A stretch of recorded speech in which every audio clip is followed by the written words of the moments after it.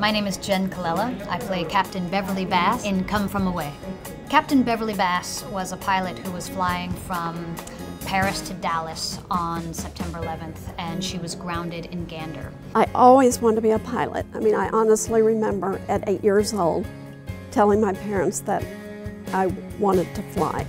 1986, the first female American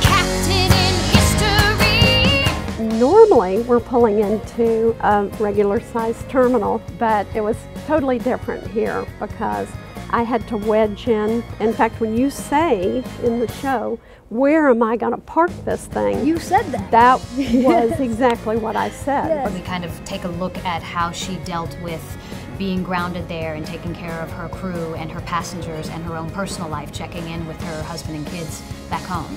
Then we came back for the 10th anniversary, Yes. which was so spectacular because that's when David and Irene interviewed all of us. Yes. I think my favorite moment in the entire journey is the moment I met Captain Beverley Bass. We saw each other from across the room and we both knew instantaneously that we were the doppelganger of the other.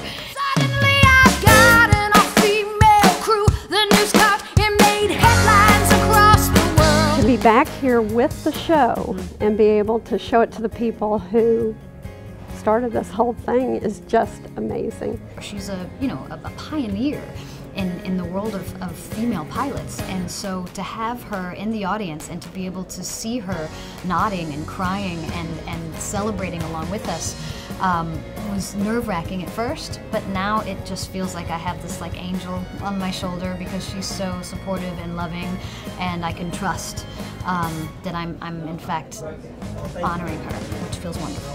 It's been the most emotional show ever, and I couldn't have picked anybody better to be my doppelganger.